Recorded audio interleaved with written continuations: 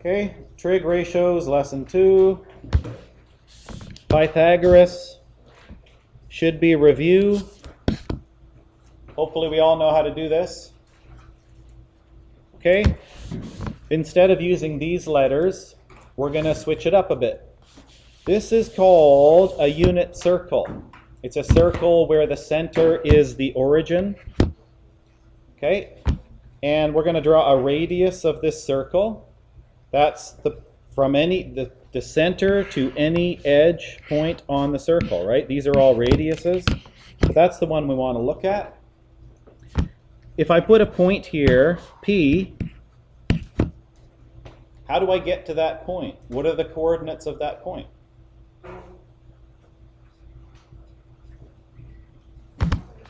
X, Y, right?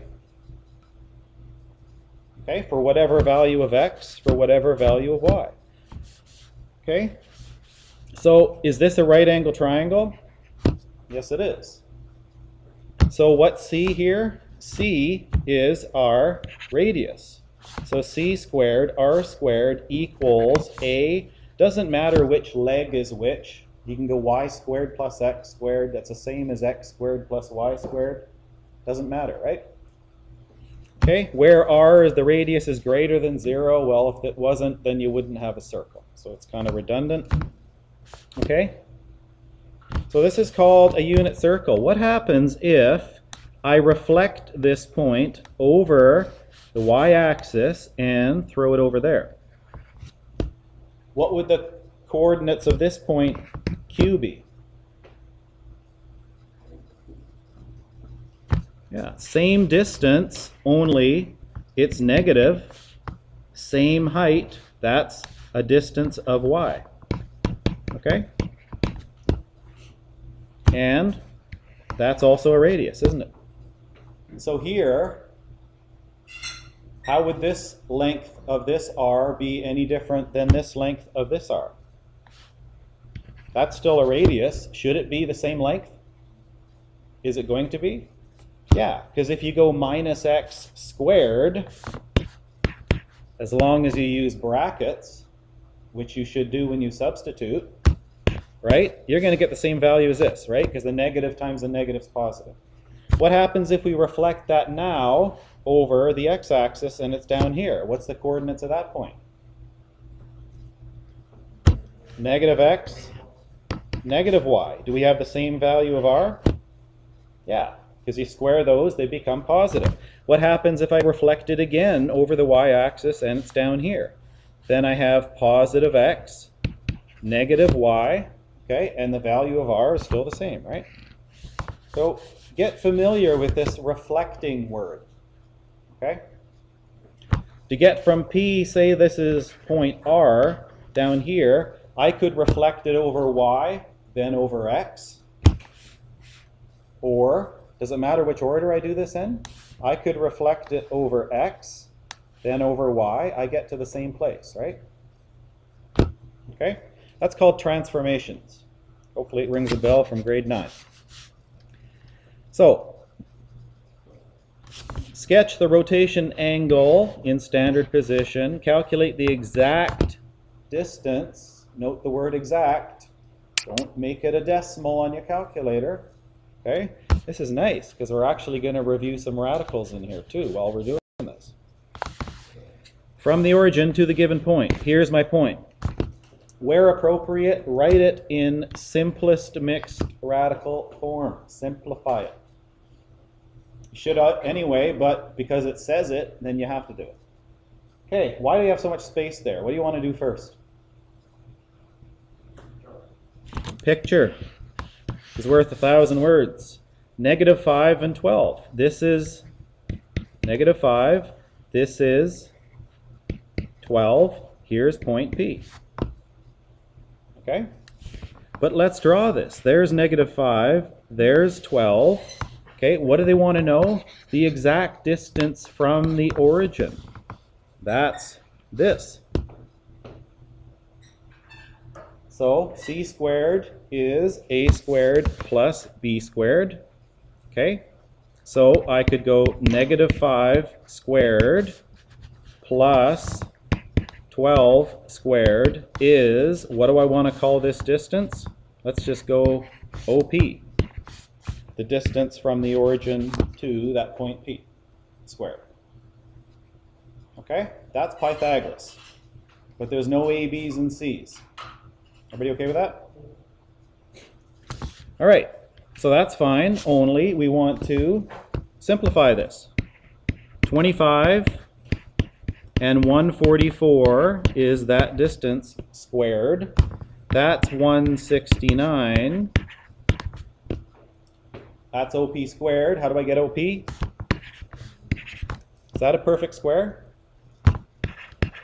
Some of us know this. Yeah. So that one was kind of nice. The next one won't be. Negative 2, negative 6. Okay, negative 2, negative 6. There's point Q. I want the distance from the origin. Okay?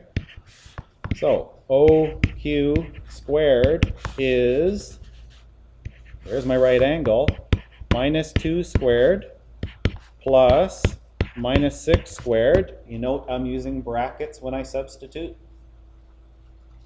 Okay, just like I said when we reviewed our test. So negative 2 times negative 2 is 4, not negative 4, plus negative 6 times negative 6, 36. So OQ squared is 40. How do I get the distance OQ? Square root, whatever you do to one side, do to the other side. Root 40. Is that simplified? No. What's a perfect square I can pull out of 40?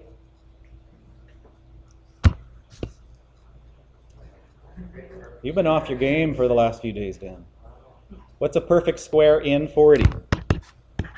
4. Is that the largest one? Yeah, because there's no more perfect squares in 10. Okay? And then root 4, I know what that is. That's 2. So that's 2 root 10. That's as simplified as I can make it. It's exact. Did I pull out a calculator here? No. Don't make it a decimal. They want it exact.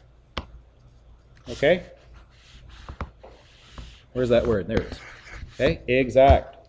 As soon as you make a decimal, it's approximate. Okay, quick little review. Sine, cosine, tangent. We know this as SOHCAHTOA. Hey, it's green. All right, so remember the sine ratio. So is the opposite over the hypotenuse. Okay? Cosine is a adjacent over hypotenuse. And tangent is opposite over adjacent. Okay? For this angle. Because if I'm talking about this one over here, well, these are going to be different, aren't they? Okay, so first thing you do, opposite the right angle, that's always the hypotenuse, always the longest side. For this angle, that's the opposite. Therefore, that's the adjacent. Right? Again, if I'm talking about this angle, this isn't the opposite anymore, it's the adjacent. This one's the opposite, right? So don't get confused. All right, primary trig ratios, well, this is grade 11. I want it in terms of this unit circle. Okay? I'm not going to draw the circle, but this is the same picture we just saw. So for theta, what is my opposite? It's y. Okay? What is my hypotenuse? Well, this is the radius of that unit circle. So the sine of theta can also be known as y over r. Okay, for cosine, that's adjacent, x over hypotenuse. And for tangent, it's y over x. What does that say? You should memorize this. If this is helpful, sine is y over r. Um, that's what the book has here. If that's helpful, great. But what's a little acronym for the cosine? You think something that has c, x, and r? Is it worthwhile even trying to do that? Okay? I'm not a good memorizer. I basically figure this out every time I look at it. Okay? How long does it take to draw yourself a little picture? Okay? That's the radius for this unit circle. This is x, that's y. This is the angle we're talking about, always from the origin. Okay, it's pretty quick to draw yourself a little picture and figure this thing out. But if you like memorizing, okay, be my guest.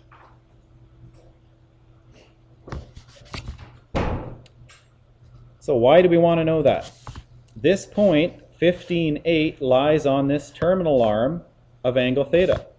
Calculate what r is. Do we have the coordinates? Yeah. Okay, so what's x? x is 15. y is 8. So write it. If we didn't have the picture there, that's the first thing you should do. 15, positive 15, right? 8, positive 8. What is r? Exactly, not as a decimal. Okay, well, r squared is 15 squared and 8 squared. Okay? Or 8 squared, 15 squared, doesn't matter what order the legs are in. So r is the square root of 225 and 64. Or, what's that, 289? What times what is 289? Come on.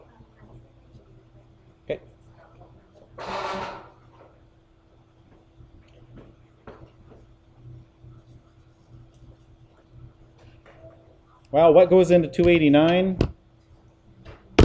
17 does. How many times?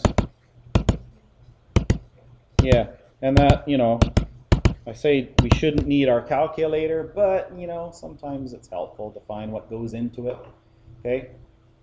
That's 17 times 17. That's a perfect square. All right, so that's exact. No mixed radical here. Okay? All right, let's look at this. Consider an angle in standard position with this point, 1 root 3. Try to absorb as much of this as you can because you'll see a lot of this in Math 12. Those are you who are taking it. Okay? Show the value of this angle is 60 degrees. How do I find out if that's 60 degrees or not? Do I know a ratio that has an opposite and an adjacent? The tan of theta is O over A, or just root 3, right? Because if it's over 1, you don't have to write it there. How, how do I find out the angle if I don't know it? First, make sure your calculator is in degrees. Okay, if you don't know the angle, what button are we pushing? Inverse tangent of whoop, root 3. I don't know if I need those brackets, so I better put them in. Hey, it's 60 degrees. Okay, that's one of these special angles. Well, theta, okay, is 60. All right, kind of looks like 60 too, doesn't it? Calculate what r is. Okay, we've done this a couple times already.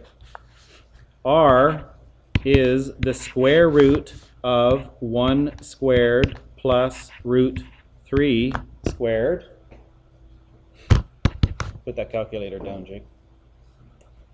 the square root of, what's 1 squared? 1. What's root 3 squared? Root 3 times root 3, which is just 3. Square root of 4. R is 2. Okay? That same unit circle, I'll say it again. You're going to see that a lot in Math 12. Okay? Where this is 2, this is 1, and that's root 3. Okay? Complete the following. X was 1. Y was root 3. And R was 2. So here's where our little ratios come in. If you memorized them already, great. If not, just figure it out. Okay, sine of theta, I don't want root 3 here. I want y. Well, it is root 3. Okay, over the hypotenuse is r, but that's also 2. So sine 60 is root 3 over 2. Cosine of 60 is adjacent x over hypotenuse r. What's x? It's right here. 1 over 2. Or 1 half. Does anyone know the sine of what is 1 half? Anyone got that memorized yet? In grade 10? No? Sine of 30. Tan of 60 is opposite or y over x is 1 or I don't have to put the 1 there. Tan of 60 is just root 3. Okay? So this is, again, a little bit of investigative work. Here's the same thing, only we reflected it over the y-axis. Okay? This has coordinates what? Well, this one was 1, so if it's reflected, what's this coordinate? Negative 1. This is still root 3. Okay? So that's the coordinates. Negative 1 root 3. What's the reference angle here? Anyone want to take a guess at that? What was the angle here? 60 degrees. Guess what it is here? It's the same thing, right? So the reference angle is 60. The rotation angle then is, if this is 60, this all adds up to 180. So 180 minus 60 is 120. Okay? We did a lot of that yesterday, I hope. Sine is, well, seven yellow rabbits, if you like. What's the sine of 120? It's y over r, right? Okay, what's y? Root 3. What's r? We found that out. That's equal to 2.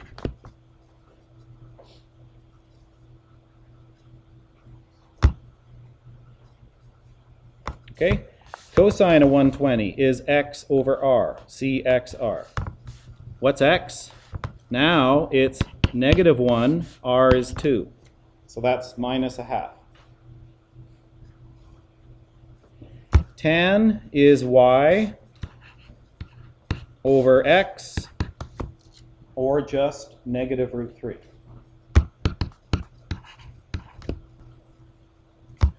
Okay, confirm these on your calculator. We haven't seen these obtuse angles before. What is sine? Let's double check.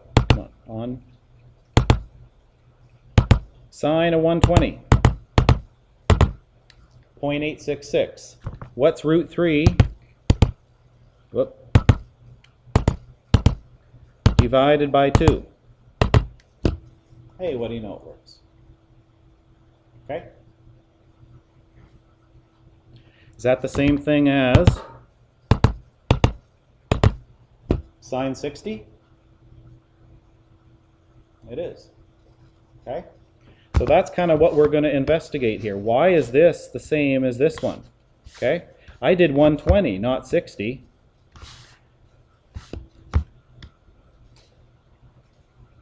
Okay? Sine 240. Let's just look at sine. What's y here? This is negative root 3, and that's still negative 1. So what's y? Negative root 3. R is still 2. Let's just look at that ratio. If that's negative, the same as this, what do you think this answer is going to be as a decimal? Root 3 over 2 was 0.866, so if it's negative, then it should be negative 0.866, right? Let's go sine 240. Bingo. So that's this reference angle, somehow that's connected to this decimal, right? The reference angle here, it's still 60. What's the rotation angle? 180 plus 60, 240. That's why this reference angle is important, because we get the same value, regardless of what quadrant it's in. Let's just go on to the last one. Now I'm going to go over here. This distance is 1. This is negative root 3. r is still 2. If I square those, I still get the same value. What's the reference angle here? 60 degrees. Rotation angle, well that's 360. So if I subtract 60, I get 300. The sine of 300 is, what's y? Negative root 3 over 2. And I've already done this, haven't I? Let's check it out the sine of 300 should be negative 0.866. Okay? It's the same value as sine 60. It's just the sign changes. Observations. It's kind of like a lab in math, right? Okay. So this is what we just did. We flipped this guy all around the four quadrants Let's see if we can pick up a little pattern. Okay. Over here, quadrant one, the sine is y over r. All we want to know is the sign. Is y positive here? Yes, it is. Is r positive? Yeah. Okay, what's a positive divided by a positive? A positive. Let's move over to quadrant two. Sine is still y over r, right? For this angle, it's opposite over hypotenuse. Is y positive over here? Yeah. Is r positive? Yes. Okay, so what's a positive divided by a positive? Still positive. Quadrant 3. Sine is still y over r. But down here, is y positive or negative? It's negative. Right? That's a negative. r, well, r is still positive. So down here in this quadrant, sine is negative. Over here, y is negative, r is positive. So the sign over there for sine is negative. Come on. Well, r, we found out, was always 2. When we square negatives, they become positive, right? And think of it this way. This is just a distance from the origin. I don't care where we go. A radius is always positive, right? But we found out r was always positive too. Okay, when we square a negative, it becomes positive. So that's what happens with sine. Now I skipped cosine and tangent just to save a little time, but we could still figure out its pattern here. Okay, what's cosine? Adjacent over hypotenuse x over r. Let's write that everywhere. x over r x over r. in quadrant one, is x positive? Yeah. R is always positive. So cosine in quadrant one is positive. What about quadrant two? X here is negative. R is positive, so a negative divided by a positive gives you a negative. Down here, that's a negative over a positive, which gives you a negative. Here, x is positive, r is positive, so cosine's positive. So let's just look at the difference between sine and cosine. Where, what quadrants is sine positive? Here and here. Quadrant 3 and 4, it's negative. Is that the same as cosine? No. Cosine's also positive here, but it's positive over here. So it's positive in quadrants 1 and 4. Yes, we're going to have to memorize this. Don't worry, we got a little acronym for this. Okay? Let's just look at tangent quickly. Tangent is opposite over adjacent. And if you can come out with an acronym for T and Y and X, well, be my guest. But like I say, just look at it each time and figure it out. Y is positive. X is positive. So tangent's also positive here. Okay? You with me, Dan? Sure. Okay, let's look at tangent over here. Tangent's y over x. y is positive. X is negative. What's a positive divided by a negative? Negative. Tangent is y over x. Down here, y is negative, but x is also negative. What's a negative divided by negative? Tangent's positive in quadrant 3. Opposite over adjacent. What's y here? Negative. X is positive, and that's going to give you a negative. Okay? Which quadrants are tangent positive? Here and here. So there isn't a pattern where they're all positive, except here, and there isn't a quadrant where they're all negative. How are we going to remember this?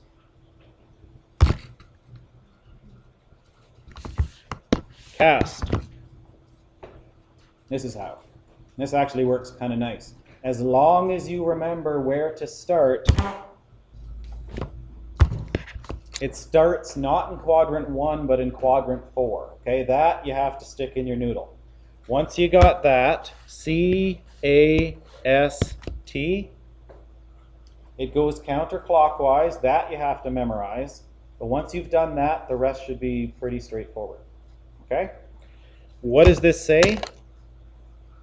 This is the only quadrant where cosine is positive.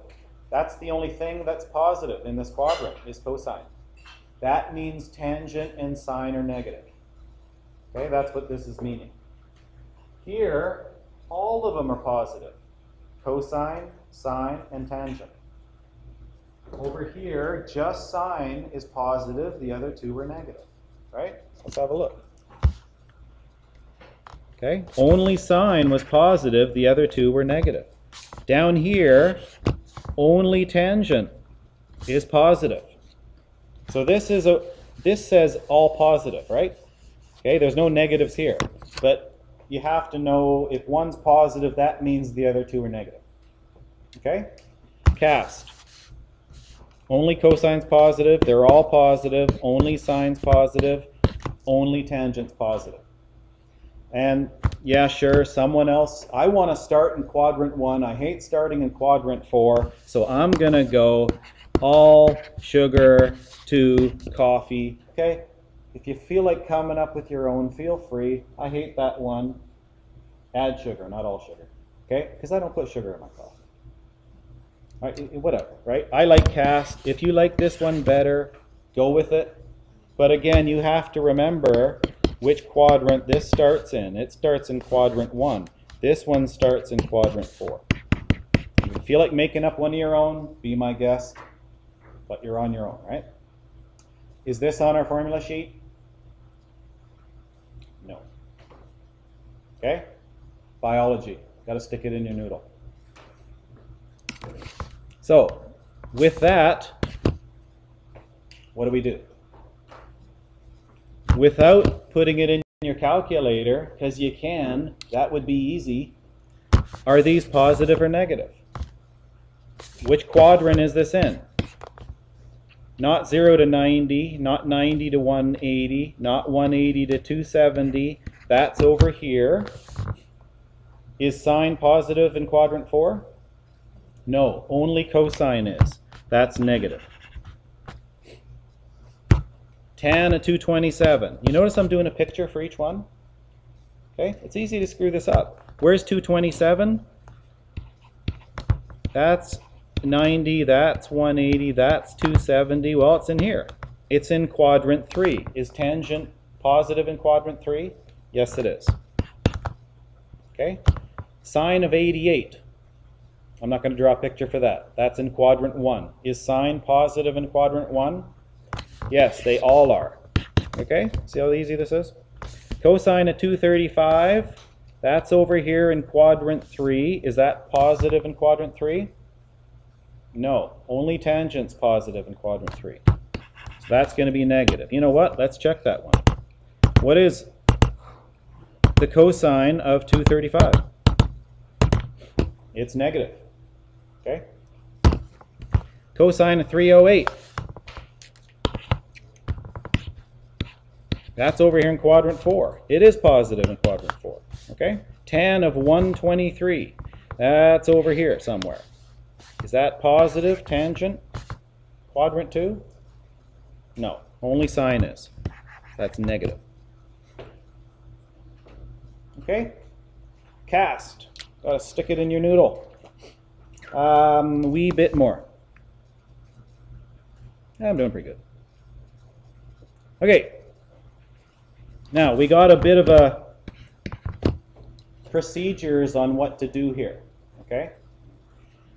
ratios of an angle in terms of its reference angle. Remember, well, a whole 15 minutes ago, that 60 degrees, every one of those angles we looked at in those four pictures was all connected to that 60 degrees. It all had the same number. It just had a different sign. Okay? So when we're doing these, first look for the sign. Is it positive or negative? And we use cast to do that. Then, what is the measure of that reference angle? Draw a picture. This is what we did yesterday. Just find the reference angle. Combine. Okay, bake your cake. So, cosine 260. No calculator, and it's not going to help you because it's not going to give you the reference angle. Okay? As the cosine of an acute angle, ah, that was reference, wasn't it? reference was the acute angle. It was the angle closest to the x-axis. We have, well, 260. Where is that? That's pretty close to 270. Do this on every picture, on every page. There's cast. Is cosine 260 going to be positive or negative? Only tangent is negative or positive here, right? So everything else is negative. Sine's negative cosine is negative. Okay, what's the reference angle for 260? What's this guy right here? How far past 180 is this? What's 260 minus 180? It's 80 degrees. So cosine of 260 can also be written as the negative of cosine 80. Now, let's double check. Cosine 260 is negative 0.173. What is negative cosine 80? Check. It's the same thing. Okay? So all these angles they're giving you can be written in form of an acute angle using its reference angle. Okay? Just a couple, and then you can practice on your own. Rewrite the same trigonometric function of an acute angle. Okay, there was your steps. First, draw yourself a picture. Where's 140? Right there. Okay? Cast. Or do your sugar and coffee thing. Okay? Sine. Is sine positive in quadrant 2? Yes, it is. So this thing's going to be, you don't have to write the plus, I'm just going to emphasize it here, okay? What's the reference angle? How far is it away from 180? Yeah, that's the same as sine of 40. Now this, could you check it on your calculator? Yes. Okay. Tan of 323. That's 270. That's over in quadrant 4. Okay, you don't have to do this in every question. Just make like, let's do that. Okay, just like, remember SOHCAHTOA in grade 10? I said write it on the top of every page till you got it down. Okay, just have a look over there. It's in quadrant 4. Is tangent positive over there? No, just cosine is. So this is going to be negative for 323. What's the reference angle? Looks like it's about 37 degrees away from 360. Okay, let's double check that one. I'm not sure. I think I might have made a mistake. Tan 323 is negative 0.753. Is that the same as negative tan 37? Bingo. Okay. Rest of these are pretty similar. I don't know, have I done a cosine one yet? No. Cosine of 308, that's also in quadrant 4. Is cosine positive in quadrant 4? Yes, it is. So that's the same as, what's the reference angle here?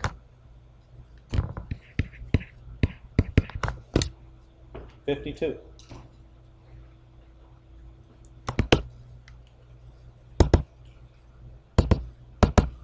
We need another one, or are we good?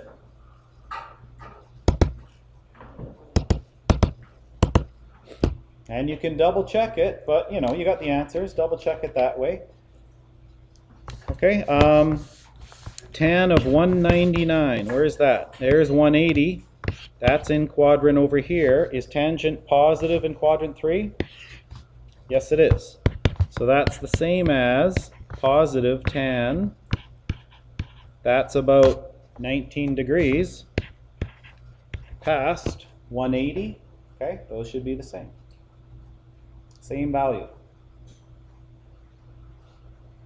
Okay, that's it. Um, if you love memorizing, feel free. But what we're doing right here, this is it. Okay, I don't expect anybody to stick that in their head. 1 to 4, 6 to 9, and 11 and 12.